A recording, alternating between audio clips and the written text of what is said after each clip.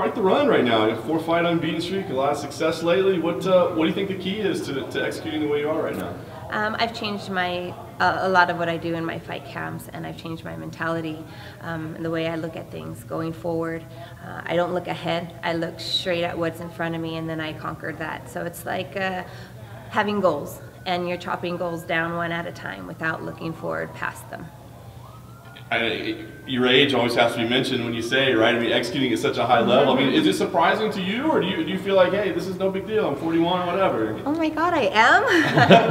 I don't feel 41, 100%. Um, there are some days when I roll out of bed, I'm like, okay, today I'm 41, but other days I, I feel young. I feel in in my early 30s, mid 30s. I don't feel my age. So when people ask me, I, I have to remember, oh my God, I am 41 hard to believe, but yeah.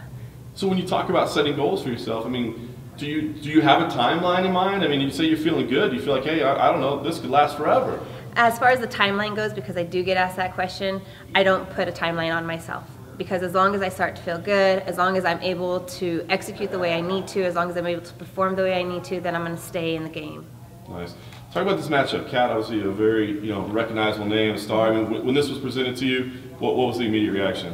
I was like, all right, let's run for it. Because we had already, my husband and I, we had already went down the list of potentials.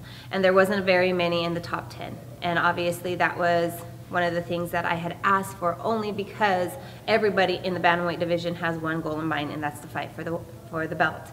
So um, we inevitably, we knew that she was the only one who would be available. She's ranked one above me, and she's a good name. So um, she's a very resilient fighter, and we're looking forward to it. She's had trouble getting some results lately. Was there any part of you that thought, hey, I've, I've got this win streak together, you know, maybe she doesn't deserve to fight me? No, no, not at all. Um, and, and it's important to not think that way just because I, I can't put myself above somebody else. Who am I to do that? I'm not above her. I'm not above anybody. So it was never, it was never that, it was never my thought process. And last thing for me, I mean, so does this feel like a real opportunity for you to make a statement? Because so you've got this nice win streak. It is a deep division with a lot of people that want to fight for the title, but I feel like a win over somebody, a name like Cat, might really kind of wake people up to say, hey, you know, you're a legit contender. You know, who knows? I thought that same way towards Sarah. So right now, it's just me jumping through the hoops that they want me to do, and who's to say what they're going to do after this. UFC's first time ever in the state of Idaho and here in Boise. What are your impressions so far? I love it. I'm so glad you asked that question. I have had so much. Well, I went on a long run and I just saw the memorial to the firefighters and the um, the lake that runs through the city and just everybody walking their dogs. You know, I was happy dog. You know, oh, there's a dog, another dog. um, and then the state capitol, which we haven't got a chance to see yet, but I'm going to plan after this to run over there and then go back to the to the lake. But it's a beautiful area. It's beautiful. First time, obviously, you know, there's a difference between watching UFC on TV and watching it live in person.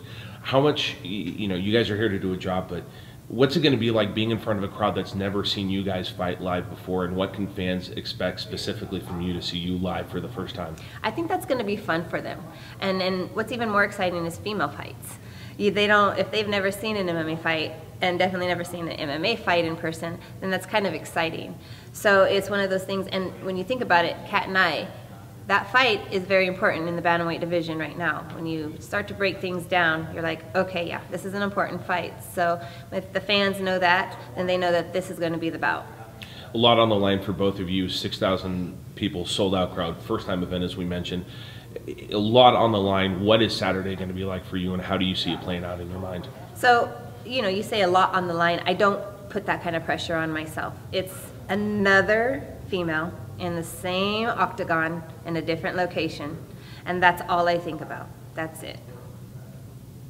I'm sure you got some Lagore in the main event. Who you, you liking that? I don't know. I don't. I don't pick. Um, I usually do the girls, but I let I let my husband pick the guys.